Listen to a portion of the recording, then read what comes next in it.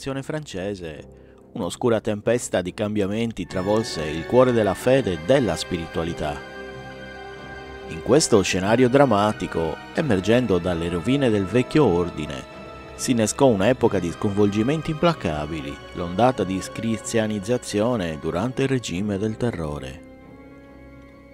In un teatro di tensioni politiche e sociali, il governo rivoluzionario si scontrò con le istituzioni religiose, riscrivendo la narrazione spirituale della nazione con gesti radicali e cerimonie laiche. Mentre la fede fu messa alla prova nell'incendio della rivoluzione e l'ombra della ghigliottina si stagliò contro l'altare della tradizione, andremo quindi a scoprire un'epopea della cristianizzazione, un capitolo teatrale che ha plasmato l'anima di una nazione in tempi di tumulto senza precedenti. Clero cattolico fu perseguitato e molti sacerdoti furono costretti a giurare fedeltà alla Repubblica e abbandonare il loro ruolo religioso. Alcuni addirittura furono imprigionati o giustiziati. Venne introdotto un nuovo calendario rivoluzionario con nuovi mesi e nuovi nomi basati su elementi naturali. Questo sostituì il tradizionale calendario cristiano. Fu anche istituito il culto della ragione come una nuova forma di culto laico templi della ragione furono istituiti in molte città e villaggi, dove venivano celebrate cerimonie patriottiche secolari. Queste misure facevano parte di un ampio sforzo per eliminare l'influenza della Chiesa cattolica e sostituirla con valori e istituzioni repubblicane. Tuttavia importante notare che questa ondata di scrizianizzazione non fu omogenea e incontrò resistenza in diverse regioni della Francia. Inoltre, dopo il periodo del terrore, vi fu una fase di riconsolidamento delle istituzioni religiose, anche se la relazione tra Chiesa e Stato rimase oggetto di tensioni e cambiamenti nel corso del XIX secolo. Il vescovo Jean-Baptiste Gobel fu coinvolto in uno degli episodi più significativi legati alla decristinizzazione nel novembre 1793, durante il culmine del periodo del terrore, Gobel venne convinto ad abiurare la sua fede cattolica e ad aderire alle nuove ideologie repubblicane. Jean-Baptiste Gobel era stato inizialmente un sostenitore della Chiesa cattolica, ma in seguito si allineò con le forze rivoluzionarie. Pressato dalle circostanze politiche e dalla volontà di aderire ai principi della Repubblica, Gobel rinunciò al suo ruolo ecclesiastico e alla sua fede cattolica.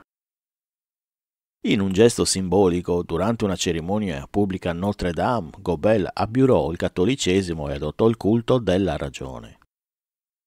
Questo episodio evidenzia il clima tumultuoso e le pressioni politiche che molte figure religiose avevano affrontato durante la rivoluzione francese Molti sono stati costretti a scegliere tra aderire alle nuove ideologie repubblicane e mantenere la loro fede religiosa, spesso con conseguenze tragiche.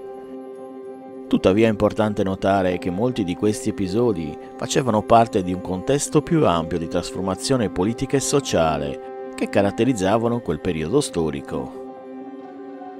Durante il regime del terrore, il 10 novembre 1793, la cattedrale di Notre Dame a Parigi fu trasformata in un tempio della ragione. Questo fu un evento significativo durante la fase di decrestinizzazione e durante la rivoluzione francese. La trasformazione della cattedrale in un tempio della ragione rappresentava il tentativo di eliminare l'influenza della Chiesa cattolica e sostituirla con una forma di culto secolare basata su principi repubblicani. Durante la cerimonia del 10 novembre la cattedrale venne spogliata di simboli religiosi tradizionali e al loro posto furono collocati simboli legati alla rivoluzione e principi della Repubblica, come la libertà e la ragione. La cerimonia celebrava la libertà e la nuova visione della Repubblica francese, enfatizzando ideali laici anziché religiosi. Questa trasformazione dei luoghi di culto in tempio della ragione era parte di un ampio sforzo per cambiare la natura della religione e della spiritualità durante la rivoluzione francese. Il periodo della decristianizzazione rappresentava un tentativo di rompere le tradizioni religiose esistenti e di creare una nuova identità culturale basata sui principi repubblicani e la città. Tuttavia, queste misure furono spesso oggetto di controversie e resistenza e molte di esse furono successivamente abbandonate o modificate nel corso del tempo. Nel contesto dell'antico regime francese, la Chiesa cattolica aveva un ruolo privilegiato e spesso era associato all'aristocrazia. Il clero godeva di molti privilegi e deteneva considerevoli ricchezze, mentre gran parte della popolazione era oppressa da tasse e ingiustizie sociali. La Chiesa era vista come parte del sistema di potere che la rivoluzione cercava di rovesciare. Le istituzioni religiose erano considerate in contrasto con i principi repubblicani della libertà, uguaglianza e fratellanza. La Chiesa era vista come una parte del vecchio ordine sociale che la rivoluzione intendeva superare. La decristinizzazione fu vista come una necessità per rompere con il passato e stabilire una nuova identità nazionale basata sui valori laici e repubblicani. Molti membri del clero si opposero alle riforme proposte dalla rivoluzione, compresa la Costituzione civile del clero 1790, che cercava di sottoporre il clero al controllo dello Stato. La resistenza del clero alla riforma fu vista come un ostacolo alla creazione di un nuovo ordine sociale. Il clero cattolico aveva una notevole influenza politica e sociale. Eliminare o ridurre questa influenza era un modo per il governo rivoluzionario di consolidare il proprio potere e affermare l'autorità della Repubblica. È importante notare che la rivoluzione francese coinvolse una varietà di ideologie e che le opinioni sulla Chiesa e sul clero variavano tra diversi gruppi rivoluzionari. Mentre alcuni cercavano una completa soppressione del potere ecclesiastico, altri cercavano una forma di cooperazione tra Chiesa e Stato. Durante il periodo della rivoluzione molte suore furono coinvolte in eventi drammatici, tra cui arresti e soppressioni delle istituzioni religiose. Uno degli episodi più noti fu l'arresto di suore che si verificò principalmente nel contesto della decristianizzazione e nelle misure adottate per eliminare l'influenza della Chiesa cattolica. Nel corso della rivoluzione le autorità rivoluzionarie nell'ambito della decristianizzazione vedevano le istituzioni religiose, compresi i conventi e le istituzioni monastiche, come simboli dell'antico regime e come ostacoli alla realizzazione dei principi repubblicani. Di conseguenza furono prese misure per chiudere molti di questi istituti religiosi e disperdere le comunità monastiche.